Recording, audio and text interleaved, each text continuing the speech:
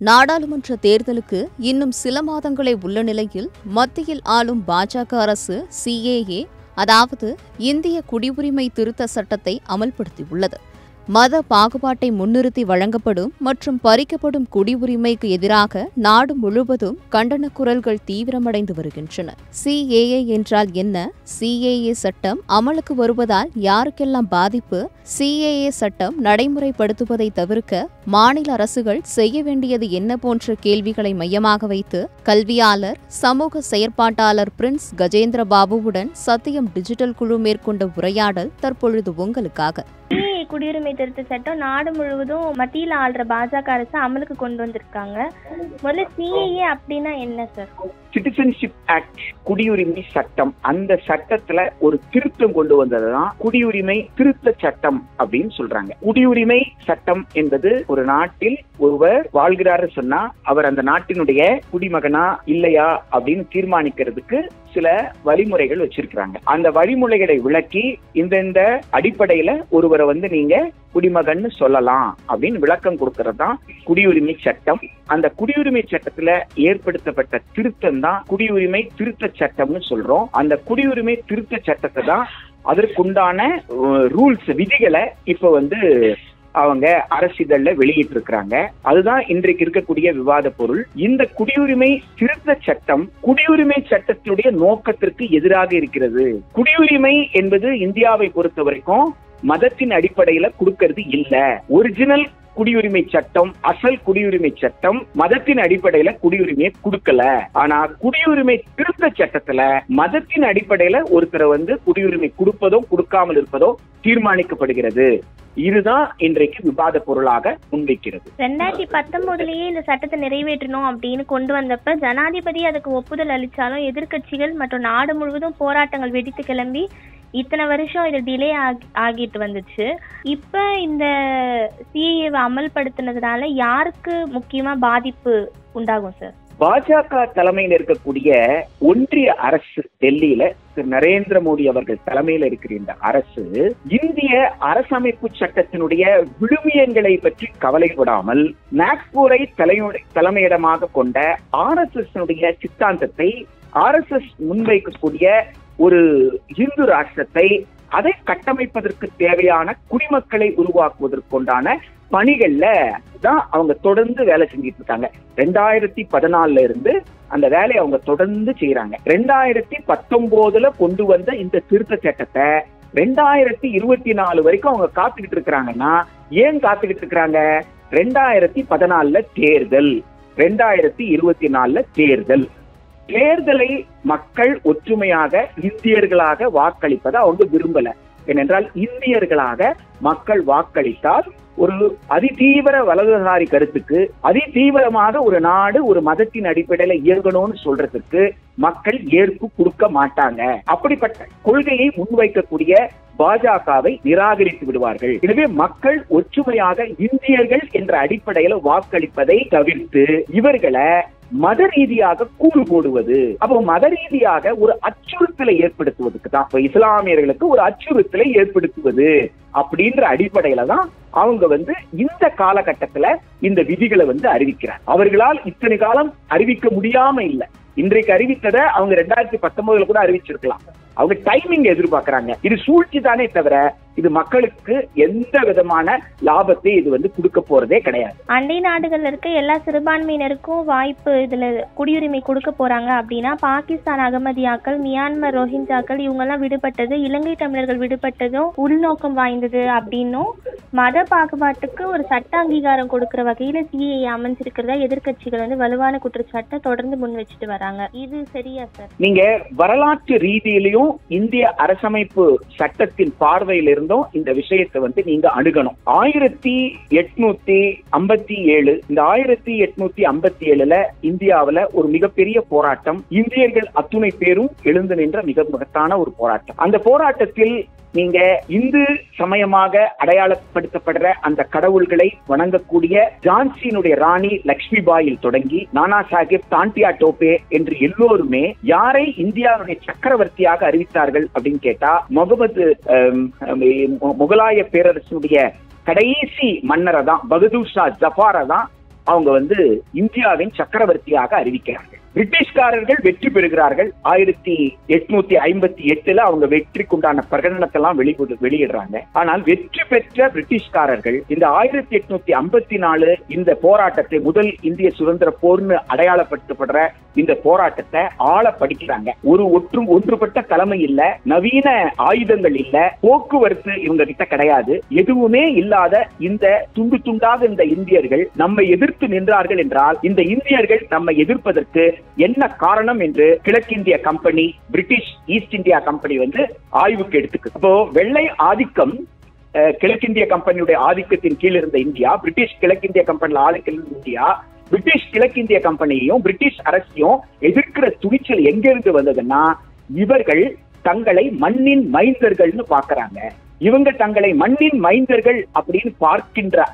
வரைக்கும் நம்மால் இந்த ஆட்சியை நீடிக்க முடியாது. எனவே இவர்களை மண்ணின் மைந்தர்கள் என்ற இந்த கருத்திலிருந்து இவர்கள் தங்களை இந்தியர்களாக கருதி கொள்கிறார்களே இந்த கருத்திலிருந்து மாற்றி இவர்களை வெவ்வேறானவர்களாக நாம் அடையாளப்படுத்த வேண்டும் என்ற சூழ்ச்சியை செய்கிறார்கள். அதுதான் பிரித்தாளும் சூழ்ச்சி டிவைட் அண்ட் ரூல் பாலிசி அந்த பாலிசியின் அடிப்படையில தான் ஆயிரத்தி தொள்ளாயிரத்தி ஐந்துல வங்கத்தை பிரித்தார்கள். வங்கத்தின் ஒரு பகுதியை இந்துக்களுக்கான நாடு என்றும் இன்னொரு பகுதியை இஸ்லாமியர்களுக்கான நாடு என்றும் பிரிட்டிஷ்காரர்கள் பிரித்தார்கள். அவ்வாறு பிரிக்கின்ற வரைக்கும் இந்திய யூனியன் முஸ்லீம் லீக்னு ஒரு முஸ்லீம் லீக்ன்ற ஒரு அமைப்பே கிடையாது. அந்த மாதிரி பிரிக்கிற வரைக்கும் யாருமே வந்து இந்தியாவை தனியா பிரிச்சு கொடு ரெண்டா பிரிச்சு கொடுன்ற கோரிக்கையை வைக்கவே இல்லை. அப்ப கோரிக்கையை வைக்கவே இல்லை. ஆனா பிரிட்டிஷ்காரன் ரெண்டா பிரிக்கிறான்னு சொன்னா அப்படி பிரிட்டிஷ்காரன் ரெண்டா பிரிக்கிறதுனுடைய முக்கிய காரணம் என்னன்னு கேட்டா இந்தியர்களை இந்தியர்களாக வாழ விட்டா நாம ஆட்சி செய்ய முடியாது என்று பிரிட்டிஷ்காரர்கள் பயந்தார்கள். எனவே இந்தியர்களை இந்துக்கள் என்றும் இஸ்லாமியர்கள் என்றும் அவர்களை அடையாளப்படுத்தி அவர்கள் இந்தியர்கள் என்று உணராமல் இந்துக்கள் என்று முஸ்லீம்கள் என்று உணர்ந்து கொள்ளணும். அப்ப அவர்களுக்குள்ள ஒரு மோதல் இருந்துகிட்டே இருக்கணும்ன்றதான் அவங்களோட சூழ்ச்சி. அந்த சூழ்ச்சி எடுபடல. வங்கத்தில் இருந்த மிகப்பெரிய போராட்டத்தின் விளைவாக ஆயிரத்தி தொள்ளாயிரத்தி பதினொன்னுல அந்த வங்க பிரிவினையை பிரிட்டிஷ் வந்து திரும்ப பெற வேண்டியது. ஆச்சு. ஏன்னா வங்க மக்கள் நாங்கள் இஸ்லாமியர்கள் இந்துக்கள் என்று அடையாளப்படுத்தாத நாங்கெல்லாம் வங்காளிகள் என்று எழுந்து நின்றார்கள். இன்றைக்கு பாஜக அதே சூழ்ச்சியை செய்கிறது. இந்த இடத்துல இந்திய அரசமைப்பு சட்டம் உங்களுக்கு பகுதி ரெண்டுல பார்ட் டூல சிட்டிசன்ஷிப்ல இருந்து பத்தி பேசுது. பார்ட் டூல ஆர்டிகல் சிக்ஸ்ல இருந்து ஆர்டிகல் டென் வரைக்கும் நீங்க வந்து படிச்சு பாருங்க. அந்த ஆர்டிகல் சிக்ஸ்ல இருந்து ஆர்டிகல் டென் லெவன் வரைக்கும் இருக்கக்கூடிய அந்த பார்ட் டூல நீங்க படிச்சீங்கன்னா எந்த இடத்துலயுமே மதத்தின் அடிப்படையில கொடுக்கல. பாகிஸ்தானில் பிறந்தவர்கள் இந்தியாவில் வந்து குடியுரிமை பெறணும்னா என்ன செய்யணும்? அப்படின்றத சொல்லியிருக்கிறாங்க. இந்தியாவில் குடியுரிமை பெற்றவர்கள் வேற நாட்டுக்கு போயிட்டாங்கன்னா என்ன செய்யணும்ன்ற சொல்லியிருக்கிறாங்களே தவிர மதத்தின் அடிப்படையில சொல்லவே இல்லை. எனவே மதத்தின் அடிப்படையில குறிப்பாக ரெண்டு மூணு நாடுகளுடைய பெயரை சொல்லி அந்த நாட்டில் சிறுபான்மையினாக இருக்கக்கூடிய இந்துக்கள் கிறிஸ்துவர்கள் பௌத்தர்கள் அப்படின்னு சில சில மதத்தை மட்டும் அடையாளப்படுத்தி பலரையும் விட்டு விடுவது என்பது அரசமைப்பு சட்டத்துக்கு ஏற்புடையதே அல்ல. குறிப்பாக தமிழர்கள் கொதித்து போயிருப்பதற்காக நம் தமிழ் உறவுகள் நம்ம மாமன் மச்சான் அண்ணன் தம்பி நம்முடைய சித்தப்பா பெரியப்பா இவங்க எல்லாம் வந்து இலங்கையில இருக்காங்க யாழ்ப்பாணத்துல இருக்கிறாங்க மட்டக்களப்புல இருக்கிறாங்க திருக்கோணமலையில் இருக்கிறாங்கன்னா இந்த மக்களா நம்ம உறவாக வீட்டு வந்து இந்தியாவை வாழணும்னு நினைச்சா அவர்களுக்கு உண்டான குடியுரிமையை பற்றி பேசலையேன்றது தமிழர்களுக்கு இயல்பாக இருக்கக்கூடிய ஒரு பாதிப்பு தான் எனவே மதத்தின் அடிப்படையில ஏன் கொடுக்கணும்? ஒருத்தனுக்கு இந்தியனாக வரணும்னா இந்திய அரசமைப்பு சட்டத்தை ஏற்றுக்கொள்ளணும். இந்திய அரசமைப்பு சட்டம் முன்வைக்கிற விடுமியத்தை ஏற்றுக்கொள்ளணும். சகோதரத்துவத்தின் ஜனநாயகத்தையும் இந்திய குடியரசையும் கொள்ளக்கூடியவர்கள் இந்தியர்களாக இருக்கலாம். இவ்வளவுதானே வந்து அரசமைப்பு சட்டத்துல சொல்லியிருக்கு. எனவே அந்த விழுமியங்களின் அடிப்படையில குடியுரிமை கொடுக்காமல் மதத்தின் அடிப்படையில் குடியுரிமை கொடுப்பது என்பது இந்திய அரசமைப்பு சட்டத்திற்கு நேர் எதிரான செயல் என்பதை நாம் புரிந்து கொள்ளணும். இப்ப பத்து வருஷங்கள் ஆட்சியில இருந்த பாஜக தேர்தலுக்கு இன்னும் சில மாதங்கள் கூட இல்ல சில வாரங்கள் தான் இருக்கிற இந்த நிலையில வந்து குடியுரிமை திருத்த சட்டத்தை அறிவிச்சு அமல்படுத்தினதுக்கு முக்கியமான காரணம் என்ன சார் நான் முதல்லயே சொன்னதை போல மக்கள் இந்தியர்களாக வாக்களித்தால் பாரதிய பாரதிய ஜனதா கட்சியும் அது தலைமையில் இருக்கிற கூட்டணியும் ஜெயிக்கிறதுக்கு வாய்ப்பே இல்லைன்றது அவங்களுக்கு நல்லா தெரியுங்க. ஆனால் அம்பேத்கர் அவர்கள் அரசமைப்பு சட்டத்தை வரைவை எழுதி வரைவை அறிமுகப்படுத்துறார் ஆயிரத்தி தொள்ளாயிரத்தி நாற்பத்தி எட்டுல. அந்த வரைவை அறிமுகப்படுத்தி அவர் ஆற்றக்கூடிய உரையை எடுத்து படிச்சீங்கனாலே உங்களுக்கு தெரியும். உங்களுக்கு புரியுறது என்னன்னு கேட்டா if the right contrive to capture power அப்படின்ற வார்த்தையை பயன்படுத்துறேன் கான்ட்ரிவ் அப்படின்ற அந்த ஆங்கில சொல்லுக்கு என்ன பொருள்னு கேட்டீங்கன்னா சூழ்ச்சியின் மூலமாக பொருள் அப்படின்னா பாபா சாஹிப் டாக்டர் அம்பேத்கருக்கு என்ன தெளிவா புரிச்சிருக்குன்னு கேட்டா நியாயமான ஒரு தேர்தல் ஜனநாயக பூர்வமான ஒரு தேர்தல் என்றால் எந்த காலத்திலும் இந்தியர்கள் வலதுசாரிகளை ஆதரிக்க மாட்டார்கள் என்று மிக தெளிவாக இருந்திருக்கிறார். அத அதிதீவிர வலதுசாரி கருத்து கொண்ட ஒருத்தரால் தேர்தலில் ஜெயிக்க முடியாதுன்னு சொல்லும் பொழுது மக்களை பிளவுபடுத்தி ஜெயிக்கணும்.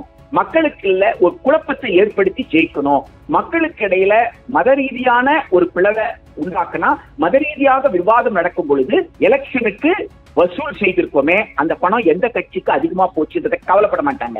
எல்ஐசிய கொண்டு போய் தனியார் கிட்ட கொடுத்துட்டா அப்ப எல்ஐசில இனிமேல வந்து பிற்படுத்தப்பட்ட மிகவும் பிற்படுத்தப்பட்ட மக்களுக்கெல்லாம் இடஒதுக்கீடு கிடைக்காதா? அதை பத்தி விவாதிக்க மாட்டாங்க. ஏர்போர்ட் எல்லாம் தனியா கொடுக்குறீங்க சீ போர்ட் எல்லாம் தனியா கொடுக்குறீங்க. அப்போ அரசின் பொதுத்துறை எல்லாம் தனியார் கிட்ட கொடுத்துட்டா இனிமேல நம்முடைய இடஒதுக்கீடு நடக்காதா? என்பதுதான் இந்த தேர்தலில் மிக முக்கியமான விஷயம். இனிமேல் ரேஷன் கடை இருக்குமா? இருக்காதான்றதான் தேர்தலில் மிக முக்கியமான விஷயம். அரசு பள்ளி இருக்குமா? அரசு பல்கலைக்கழகம் இருக்குமா? அரசு கல்லூரி இருக்குமா? அரசு ஊழியர்களாக ஆசிரியர்கள் இருப்பாங்களா? இருக்க மாட்டாங்களா? இதுதான் இந்த தேர்தலில் மிக முக்கியமான விவாத பொருள். ஆனா இதை எதை பற்றியுமே விவாதிக்காம மத ரீதியில விவாதிங்கன்னு ஒரு பொருளை வந்து மக்களுக்கு கொடுக்குறாங்க. இந்த பிளவுக்கெல்லாம் வந்து மக்கள் வந்து அவ்வளவு சீக்கிரம் ஆட்பட மாட்டாங்க. வெங்காயத்தின் விலை மக்களை பாதிச்சிட்டு இருக்கு. வெங்காயம் இல்லாம சாம்பார் கூட வைக்க முடியாது. வெங்காயம் இல்லாம பழைய சோறு கூட சாப்பிட முடியாது. எனவே வெங்காய விலையிலிருந்து எல்லா விலையும் ஏறி இருக்கும் பொழுது இதற்கு பத்தாண்டு காலமாக பதில் சொல்ல முடியலே என்ற தெளிவுல மக்கள் இருக்கிறாங்க. ஆனா இவர்கள் அந்த தெளிவிலிருந்து மக்களை வந்து குழப்பி விட்டு ஒரு ஆதாயத்தை தேடுவதற்காகத்தான் தேர்தலுக்கு முன்னாடி இந்த சிஐஏ விதிகள் அறிவிக்கப்பட்டிருக்கு. மத்திய அரசு கொண்டு வந்திருக்க இந்த சட்டம் வந்து எந்த வகையிலயும் மாநிலத்தை பாதிக்க கூடாது அப்படின்ற கண்ட்ரோல மாநில அரசு எடுக்க முடியுமா சார் மாநில அரசை பொறுத்த வரைக்கும் இதற்கு எதிர்ப்பு தாங்க தெரிவிக்கலாம். குடி உரிமைன்னு வரும் பொழுது அது வந்து ஒன்றிய அரசுக்கு தான் அதுல வந்து அதிகாரம் இருக்கிறது. இந்தியால வந்து சிங்கிள் சிட்டிசன்ஷிப் தான். எனவே மாநிலத்தில் மட்டுமல்ல இந்தியா முழுக்க ஒரு மாநிலத்தில் இந்தியாவில் இருக்கிற அத்துணை மக்களும் பெரும்பகுதி மக்கள் இதை எதிர்த்துக்கிட்டு இருக்கிறாங்க. எனவே இந்திய மக்கள் அத்துணை பேரும் ஒன்று சேர்ந்து அரசமைப்பு சட்டம் உயர்த்தி பிடிக்கிற மதச்சார்பற்ற கோட்பாட்டை பின்பற்ற வேண்டும். மதச்சார்பின்மையின் அடிப்படையில் ஒரு மனிதனுக்கு இந்திய விழுமியங்களை ஏற்றுக்கொள்ளக்கூடிய பக்குவம் இருந்தால் அவருக்கு வந்து நீங்க குடியுரிமை கொடுக்கலாம். இந்திய விழுமியங்களை இந்திய அரசமைப்பு சட்டம் முன்வைக்கிற அந்த விழுமியங்களை ஏற்காதவருக்கு குடியுரிமை கொடுக்க முடியாது. அவ்வளவுதான் அளவுகோலா இருக்க முடியுமே தவிர ஒரு மதம் அளவுகோலாக இருக்க முடியாது என்பதை அனைத்து மாநிலங்களும் தங்களுடைய சட்டப்பேரவையில தீர்மானங்கள் நிறைவேற்றி வலியுறுத்தலாம். நாடாளுமன்றத்துல மாநிலத்திலிருந்து ஒவ்வொரு மாநிலத்திலும் தேர்ந்தெடுக்கப்படுற உறுப்பினர்கள் அந்த மாநில மக்களுடைய கோரிக்கைகளை முன்வைத்து அந்த இடத்துல வந்து அதை அந்த சட்டத்தை திரும்ப பெறு வைப்பதற்கு என்னென்ன போராட்டம் நடத்த முடியுமோ நடத்த முடியும். தேர்தலில் வலுவாக இந்த சட்டத்தை வைத்தே பாஜக எப்படி பிரித்தாளும் சூழ்ச்சியை நடத்துகிறது இதற்காகவே பாஜக தோற்கடிக்கப்பட வேண்டும் என்கின்ற விவாதத்தை எல்லா மாநிலத்தில் இருக்கிற கட்சிகளும் அந்தந்த மாநில மக்கள் கிட்ட முன்வைக்க முடியும். ஓகே சார் உங்க நேரத்தை ஒதுக்கி பல பயனுள்ள தகவல்களை கொடுத்ததுக்கு ரொம்ப நன்றி சார். நன்றிங்க. விறுவிறுப்பான அரசியல் பார்வைகள் மற்றும் பல தகவல்களை தெரிந்து கொள்ள இணைந்திருங்கள் சத்தியம் டிஜிட்டலோடு.